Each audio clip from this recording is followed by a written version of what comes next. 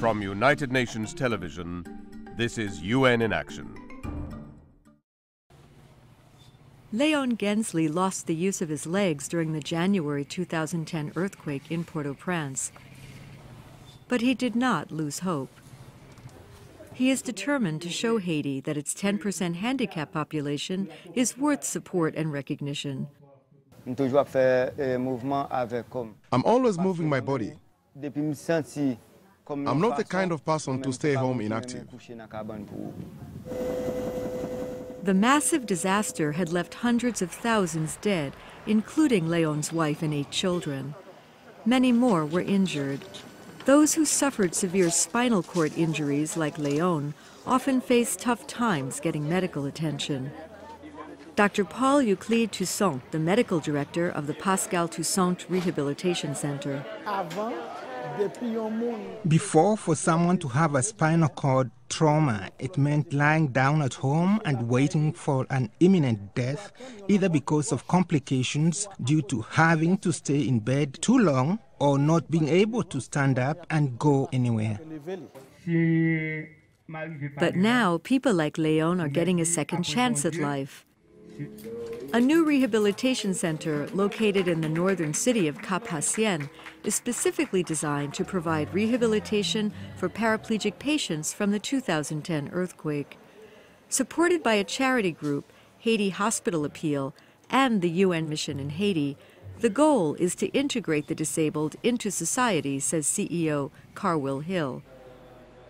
They can really uh, prove and, and challenge the this stereotype within Haiti that people with disabilities are worthless and they can prove that actually that's not the case at all and that they need to be a part of their culture, uh, a part of the, you know, the government structure here, a part of, you know, within the employment um, and that persons with disabilities in Haiti deserve the right uh, for their voice to be heard.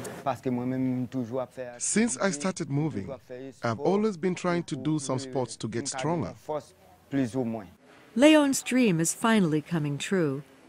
In an effort to help patients rebuild confidence and get them back on their feet, the center has developed new sports programs and machines like hand cyclers. Leon works tirelessly every day fighting to get his strength back. With help from his trainer Albert Marty from the Swiss Foundation for Paraplegics, Leon is competing to qualify for the London 2012 Paralympics. His determination is giving hope to other patients at the center. His trainer, Albert Marty, is now using Leon's example to inspire others to build another sports center for disabled persons in Quartier Morin, a nearby town.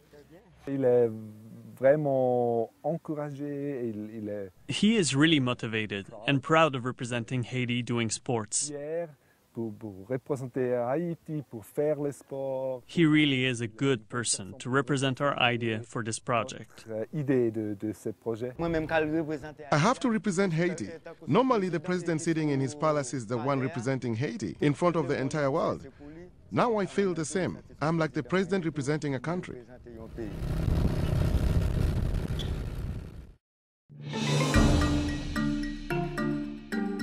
This report was produced by Albin Mendez de Leon for the United Nations.